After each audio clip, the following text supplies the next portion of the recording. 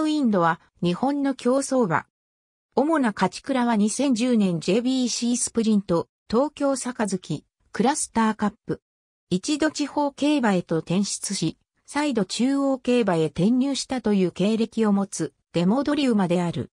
重賞2勝のほか、1988年に記録した函館競馬場芝1200メートルのレコードタイムを22年間保持した新ウィンドの最終3区。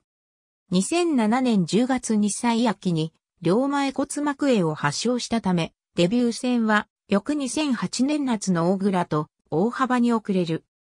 その裏で2度使われた後、右前膝骨折により戦線離脱したため、3歳、未勝利戦が組まれる同年10月までの復帰は不可能となる。ここで、同馬は、同英門別に移籍して、翌2009年に2戦し、それぞれ8馬身、大差の勝利を収める。この2勝により JRA 再登録の要件を満たし、同年10月に JRA 復帰。復帰後も勝ち倉を重ね、5連勝でオープンクラスへの昇格を果たす。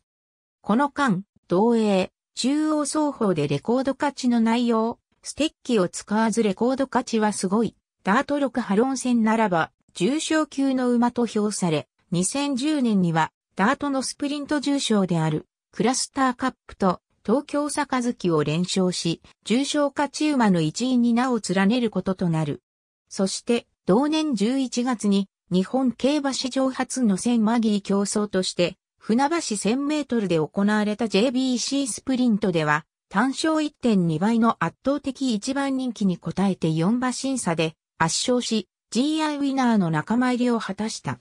2011年の初戦は、未勝利戦以来の芝レースとなる、高松宮記念となった。主戦騎手の藤岡祐介が、ワンカラットに騎乗するために、福永雄一と乗り換わったが、ブービーの14着と大敗した。その後、11月の JBC スプリントは先段に位置したが、直線で脚色を失い6着に敗れた。2012年初戦の東京スプリントは、後位追走も直線で伸びを書き、7着となる。柿つばた記念は、中段でレースを進めたが直線で伸びきれず7着となり、北海道スプリントカップは先手を取って逃げたが4着に敗れた。クラスターカップでは、後位でレースを進めたが、最下位11着に終わった。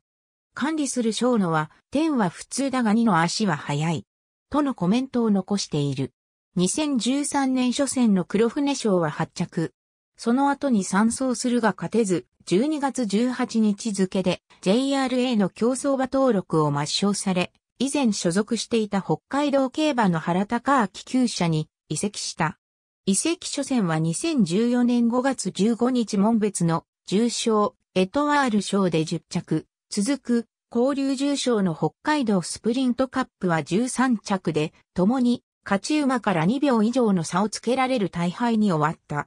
8月6日の北海道競馬2014年シーズン最終日の11月13日に行われた浦川ウェリントンファイナルカップで復帰したが9着に終わった。このレースの後、金沢競馬場の赤間通る厩舎へ移籍。金沢移籍初戦は12月8日の馬釣り特別であったが、競争除外となった。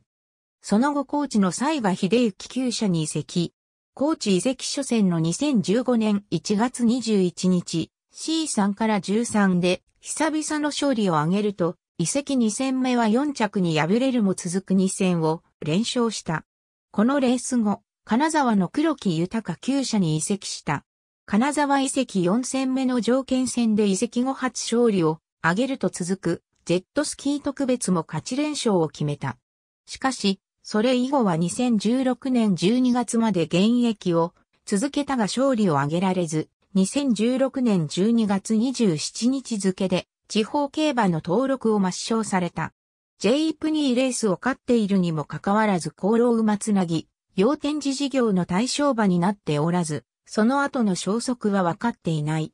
決闘背景。ありがとうございます。